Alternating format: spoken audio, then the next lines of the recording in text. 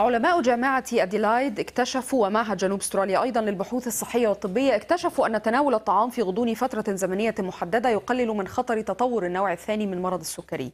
يفيد موقع ميديا Medical Xpress بأن الدراسة أجريت بمشاركة 15 شخصا من المعرضين بشكل كبير للإصابة بمرض السكري من النوع الثاني. تتضمن شروط التجربة السماح لهم بتناول طعامهم المعتاد الذي تعودوا عليه خلال الفترة من الثامنة صباحا إلى الخامسة مساء أو منتصف النهار حتى التاسعة ليلا. من دبي. الدكتور أحمد حسون استشاري أمراض الغدد الصماء والسكرية ينضم إلينا. أهلا وسهلا بحضرتك دكتور. آه ربما الحديث بأساسه هو عن مفاهيم عن مرض السكرية أكثر منه ممارسات. يعني مثلا يقال أحيانا إنه الإنسولين يسبب الإدمان عليه يمكن أن يؤدي في الاعتياد عليه إلى مضاعفات خطرة. إلى أي مدى المعلومات عن مرض السكري مغلوطة؟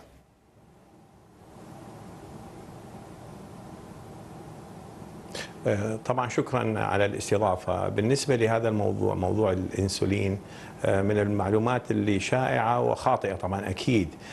طبعا لا يوجد إدمان لموضوع استخدام الإنسولين وإنما الحاجة إليه لضرورة ضبط السكر. فبعض الحالات تحتاج إضافة الإنسولين لضبط السكر إلى مستوى المطلوب.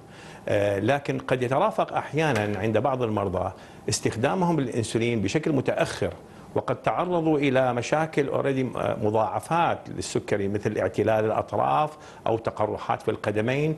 فعند ذلك الوقت إذا بدأوا استخدام الإنسولين قد يؤدي إلى حدوث المضاعفات التي قد ستحدث ولو لم يستخدموا الإنسولين، لكنهم يربطوها باستخدام الإنسولين عند على سبيل المثال عند الأقارب يقولون أقربائنا أو أصدقائنا استخدموا الإنسولين وحصل معاهم اعتلالات طرفية وتقرحات وقسم منهم الغرغرينة وما شابه ذلك. لكن ليس الإنسولين هو السبب هو المضاعفات التي حدثت وتستمر في الاستمرار والتضاعف الأكثر والأكثر تؤدي إلى حصول التقرحات الشديدة والغرغرينة والبتر أحيانا لكن ليس السبب هو الإنسولين ابدا. طيب يعني اذا الحديث الدائم عن إنه السكري مرض ينبغي يمكن العيش معه ولكن ينبغي مراقبته ومعالجته وضبطه بشكل ما هو حديث ليس فيه تهويل. يعني السكري غير المنضبط أمر جاد وخطير.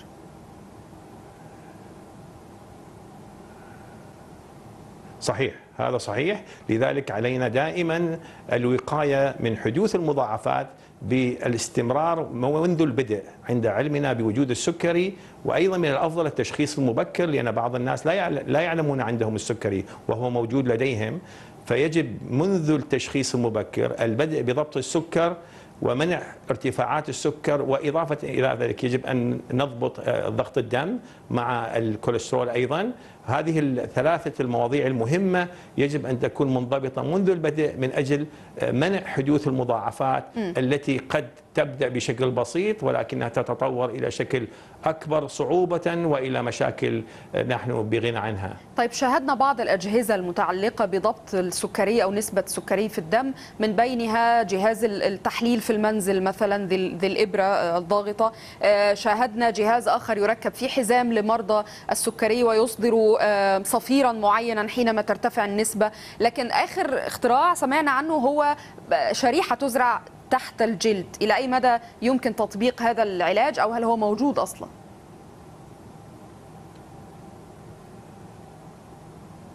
طبعا هذه الأجهزة هي لقياس مستوى السكر وهذا تطور جيد في هذا المجال لأنه ضبط السكر لا يكون سهلا إلا بعد معلمة مستوى السكر عند الإنسان.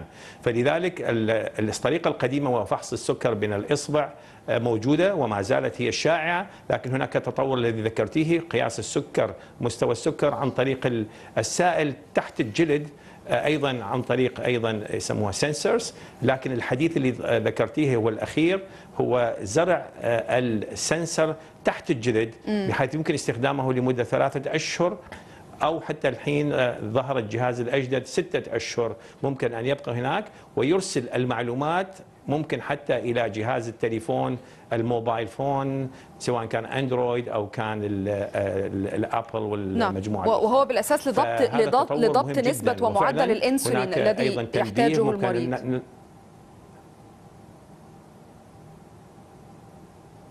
لا حاليا يجب التفريق. هذه الأجهزة لقياس مستوى السكر.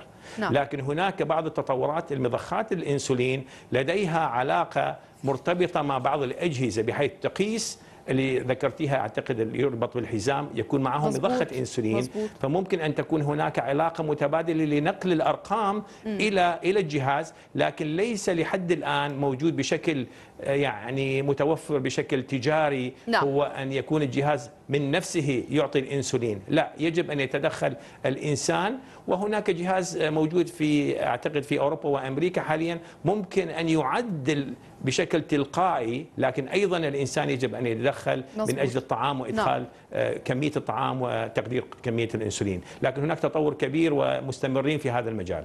دكتور أحمد حسون استشاري أمراض الغدد الصماء والسكري أشكر حضرتك شكرا جزيلا.